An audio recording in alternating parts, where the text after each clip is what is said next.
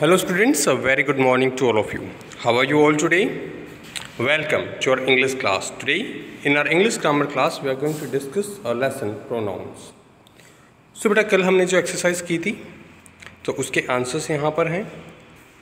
So complete the sentences using suitable subject and और object pronoun तो आपको subject या फिर ऑब्जेक्ट प्रोनाउन को यहाँ पर फिल करना था।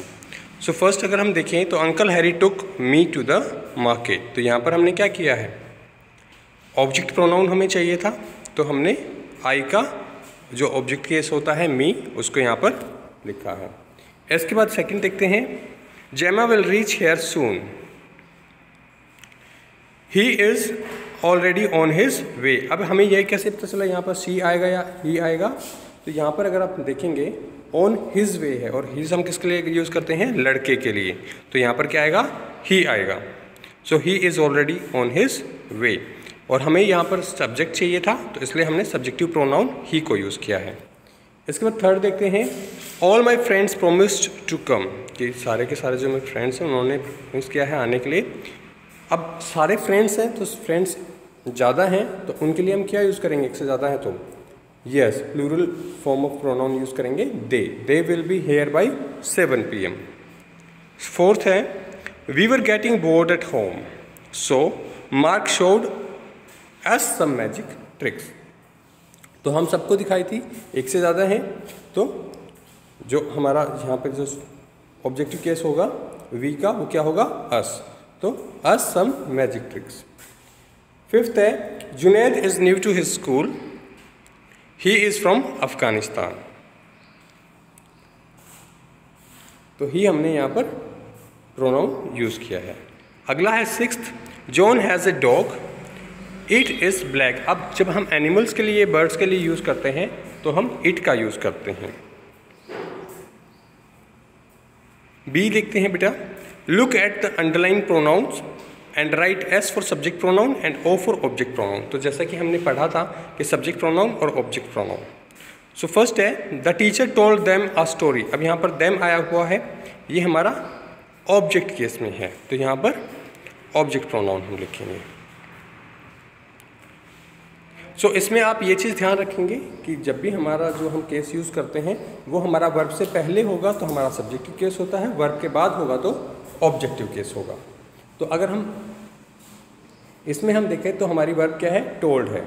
और ये जो दैम है ये टोल्ड के बाद हम यूज़ कर रहे हैं तो ये यहाँ पर ऑब्जेक्टिव केस के रूप में यूज़ होगा। इसी प्रकार से सेकंड देखते हैं he is riding my bike तो यहाँ पर ही जो है ये हमारा जो हमारी वर्ब है उसके पहले आया है। तो यहाँ पर ये सब्जेक्ट केस है। He is riding my bike तो इसलिए हमने यहाँ पर सब्जेक्ट केस लिया है। थर्ड है she gave the book to Mrs Brown अब यहाँ पर गेव हमारी वर्ब है। वर्ब से पहले हमारा प्रोनाउन है और ये हमारा सब्जेक्टिव केस है।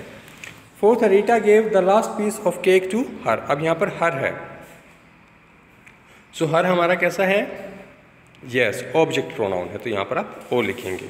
फिफ्थ है they denoted their old toys and cloth so they donated their old toys and cloth उन्होंने अपने पुराने टॉयज और क्लोथ्स को डोनेट कर दिया। अब डोनेटेड वर्ब है हमारी और ये जो हमारा प्रोनाउन आ रहा है, ये डोनेटेड से पहले आ रहा है। तो ये हमारा सब्जेक्ट केस है। तो क्या है? सब्जेक्ट है। सिक्स है they left their car with us अब अस है। अस हमारा ऑब्जेक्टिव केस है ऑब्जेक्ट प्रोनाउन है।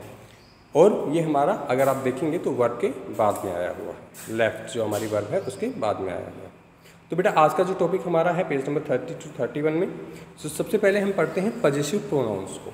सो पजेसिव प्रोनाउन तो पजेसिव जो वर्ड है, वो पजेशन से बना है। पजेशन का मतलब आप किसी के ऊपर हक रखते हैं, वो चीज़ आपकी है तो वो आपका पजेशन हो गया, ठीक है? और पजेसिव प्रोनाउंस वो आपकी बिलोंगिंगनेस को शो करते हैं। कि ये जो चीज़ है, ये किससे ताल्लुक़ रखती है? ये किससे बिलोंग करती है?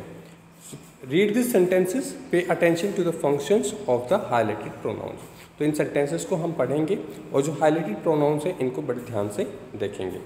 All those books were hers अब यहाँ पर जो हर्स वर्ड है, ये हमें दिखा रहा है कि जो बुक्स की बिलोंगिंगनेस है, वो किससे बिलोंग करती हैं? इसी प्रकार से द पेन्स आर माइन अब यहाँ पे जो वर्ड माइन है, ये हमें बता रहा है कि जो पेन्स हैं, वो किससे बिलोंग करते हैं। नेक्स्ट देखते हैं। द पेंसिल इज़ योवर्स जो पेंसिल है, वो तुम्हारी है। तो योवर्स जो वर्ड है, ये हमें पेंसिल के बारे में बता रहा है कि पेंसिल किससे बिलोंग कर रही है। So the pronouns hers mine and yours tells us that something belongs to someone तो ये जो हमारे वर्ड्स हैं हर्स माइन और योरसेल योवर्स सो ये हमारे तीनों वर्ड जो हैं, ये हमें बता रहे हैं कि कोई जो चीज़ है वो किससे बिलोंग कर रही है। दे आर पजेसिव प्रोनाउंस और ये हमारे कैसे प्रोनाउंस है? पजेसिव प्रोनाउंस है। Possessive pronouns are use to show possession और ओनरशिप जो पजेसिव प्रोनाउंस होते हैं, वो हमें पोजिशन या ओनरशिप किसी भी चीज़ की बिलोंगिंगनेस को शो करते हैं। सो पजेसिव प्रोनाउंस क्या करते हैं? पोजिशन को या ओनरशिप को दिखाते हैं कि ये जो चीज़ है, ये कौन ओन कर रहा है।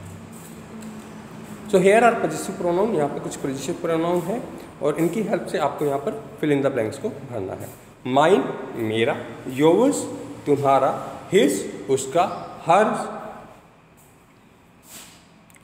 उसकी इट्स किसी भी एनिमल के लिए हम यूज़ करेंगे। अवर्स हमारा देयर्स उनका हुज किसका? So complete this sentences using suitable possessive pronouns तो पजेसिव प्रोनाउंस को आप यूज़ करते हुए इन्हें कंप्लीट करेंगे।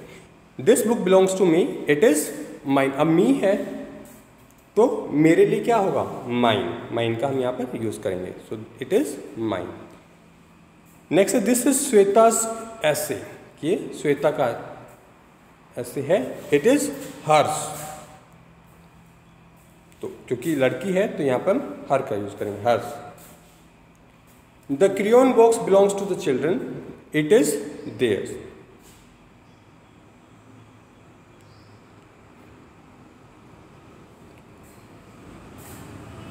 Next देखते हैं.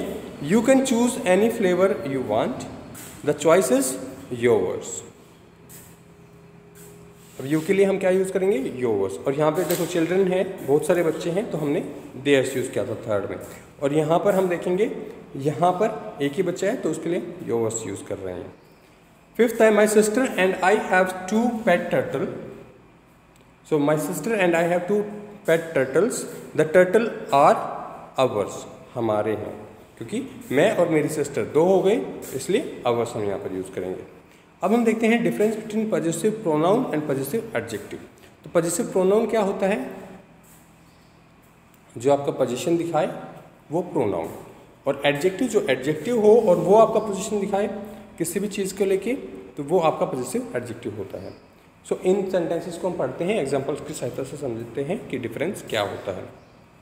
So read this sentence the book is Meenu's अब यहाँ पर अगर हम देखें मीनूज तो मीनूज यहाँ पर क्या है?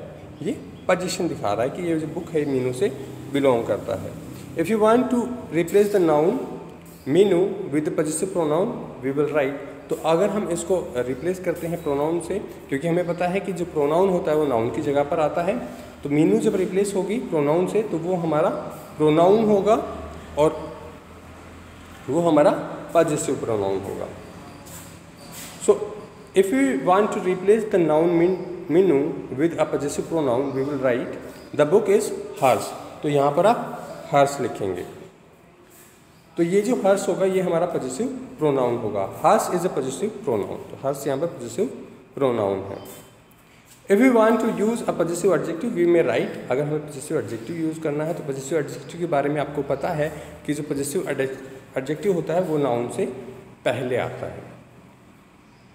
और वो नाइन नाउन को डिस्क्राइब करता है, वो डिस्क्राइबिंग वर्ड होता है। जैसे यहाँ पर है दिस इज़ हर बुक अब यहाँ पर ये जो बुक है, ये इसको डिस्क्राइब कर रहा है कि वो बुक जो है उसके बारे में हमें कुछ और बता रहा है कि हर बुक तो वो बुक उसकी है।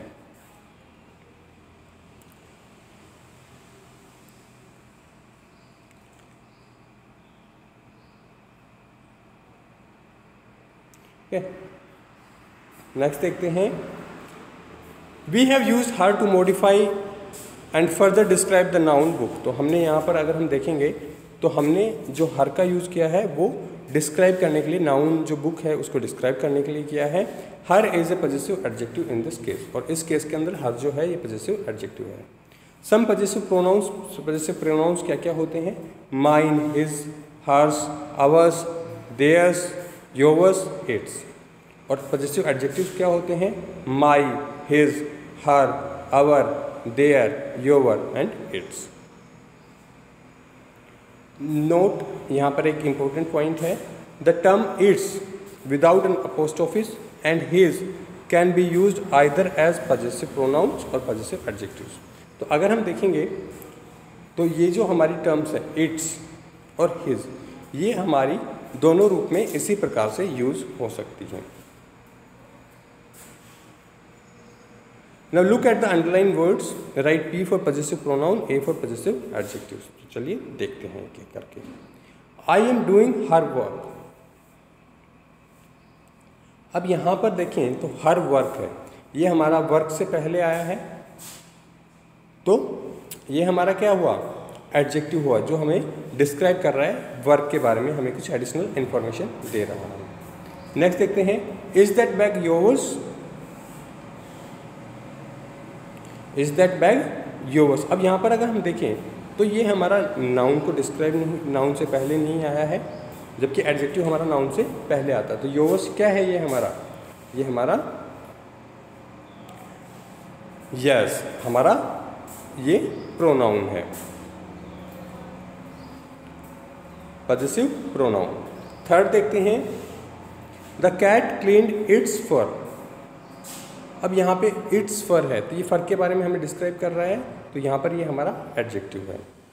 फोर्थ देखते हैं these crayons are theirs not ours अब यहाँ पर अगर हम देखें अवर्स तो अवर्स हमारा, ये किसी को डिस्क्राइब नहीं कर रहा है यहाँ पर, ये हमारे लिए प्रयोग हुआ है।